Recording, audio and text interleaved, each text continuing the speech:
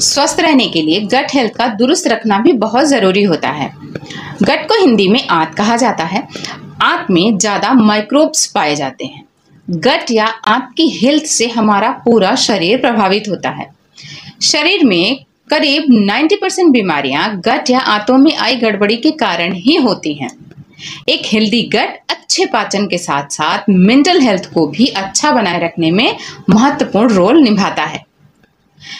दोस्तों, बैक्टीरिया को हमेशा ही बीमारियों का स्रोत माना जाता है।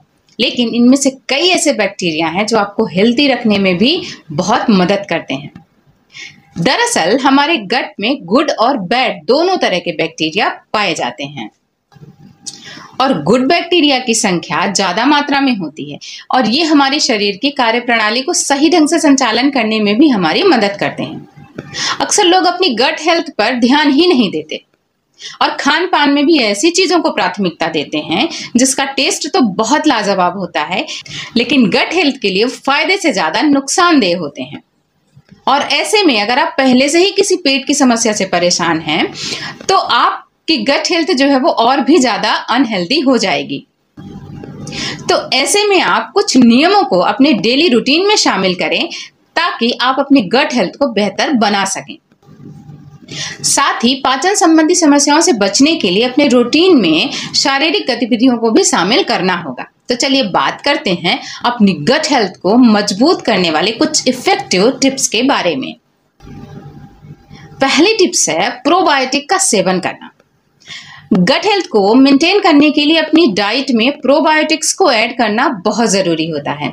यानी कि प्रोबायोटिक में गुड बैक्टीरिया पाए जाते हैं, जो हमारे डाइजेस्टिव एंजाइम को एक्टिवेट करने में मदद करते हैं।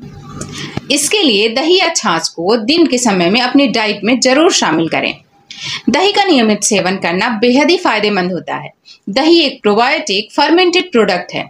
यही कारण है कि इसमें गुड बैक्टीरिया ज़्यादा होते हैं, जो कि पाचन में एक अहम रोल निभाते हैं। दोस्तों, अगर आप दही के बारे में और डिटेल में जानकारी चाहते हैं तो मेरे चैनल में दही के बारे में एक पूरा वीडियो है कि दही हमें कब खाना चाहिए, कभी हमें फ़ायदे देता है और कब नुकसान करता है। इसके अलावा पाचन तंत्र को भी मज़बूत बनाने के लिए फाइबर रिच फ़ूड का सेवन बहुत ज़रूरी होता है। अधिक तला भुना खाने से परहेज करें। इसके साथ ही हेल्दी होममेड ड्रिंक्स जैसे कि herbal drinks black tea herbal tea detox water जैसे जीरे का पानी आदि को भी अपनी लाइफस्टाइल में ज़रूर शामिल करें और अपनी गट को खुश रखें। अगली टिप्स है, शाम के बाद भोजन ना करें। ऐसे तो आयुर्वेद में या अन्य डॉक्टरों के द्वारा भी ये कहा जाता है कि शाम होने के बाद या सूरज ढलने के बाद भोजन नहीं करना चाहिए। क्योंकि सूरज ढलने के बाद खाना पाचन तंत्र के लिए नुकसानदेह साबित हो सकता है। हालाँकि आज के समय में अधिकांश लोग सूरज डूबने के बाद ही भोजन करते हैं और सबसे ज़्यादा हैवी भोजन भी करते हैं। दोस्तों, सूरज डूबने के बाद खाना खाने से हमारा जो पाचन तंत्र है, वो ठीक तरीके से काम नहीं करता है। उसका जो प्रोसेस होती है, वो स्लो हो जाती है और वो हमारा खाने को पचाने में असमर्थ हो जाता है, जिसके कारण पाचन से जुड़ी समस्याओं का सामना हमको करना पड़ता है। इसलिए अगर आप अपनी गट हेल्थ को सुधारना चाहते हैं तो रात का खाना मैक्सिमम आठ बजे से पहले ज़रूर कर लें, उसके बाद खाने से बचें और अगर आप खाते हैं तो बहुत ही लाइट खाने का ही इस्तेमाल करें। तो ऐसा करने से हम रात में जो पेट में अनइजीनेस होता है, जो समस्याएँ होती है, उससे हम बच जाएँगे और हमारा डाइजेशन भी अच्छा हो जाएगा। तीसरी टिप्स है कि सॉफ्ट ड्रिंक और कोल्ड ड्रिंक को कम से कम इस्तेमाल करें या बिल्कुल ही ना पिए। दोस्तों, आज के समय में सॉफ्ट ड्रिंक और कोल्ड ड्रिंक पीना एक लाइफस्टाइल सिंबल बन गया है। लोग इसे बहुत पसंद करते हैं पीने के लिए। और इसको पीने से ये न केवल हमारे पेट के लिए नुकसानदेह होता है, बल्कि हमारी हार्ट और ब्रेन के लिए भी बहुत ही नुकसानदेह साबित हो सकता है।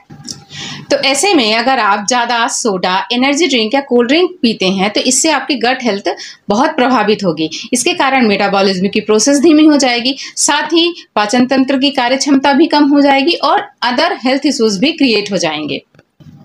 तो दोस्तों, गर्मियाँ आ रही हैं और आप कोल्ड ड्रिंक ज़रूर पीना चाहते होंगे। तो आप कोल्ड ड्रिंक के शौकीन लोगों के लिए कंबूचा एक बहुत ही अच्छा कोल्ड ड्रिंक साबित हो सकता है। ये एक प्रोबायोटिक ड्रिंक है, जो कई सारे हेल्थ बेनिफिट देती है और हमारी गट के लिए तो बहुत ही इंपॉर्टेंट होता है, बहुत ही फ़ायदेमंद होता है। अगर आप कंबूचा के बारे में डिटेल में जानना चाहते हैं कि ये क्या होता है और क्यों फ़ायदा करता है हमारी गट हेल्थ के लिए क्यों अच्छा होता है तो डिस्क्रिप्शन में आपको इस वीडियो की लिंक मिल जाएगी। आप वहाँ से इसको देख सकते हैं। इसके साथ ही दोस्तों गट हेल्थ को सही रखने के लिए हमें अच्छी नींद लेना भी बहुत ज़रूरी है, क्योंकि अपर्याप्त नींद गट हेल्थ पर निगेटिव असर डालती है, इसलिए अच्छी नींद लेनी चाहिए। इसके साथ ही प्रोटीन आपके स्वास्थ्य के लिए बेहद ही फ़ायदेमंद होता है, इसलिए प्रोटीन से भरपूर खाद्य पदार्थों को अपने आहार में ज़रूर शामिल करें।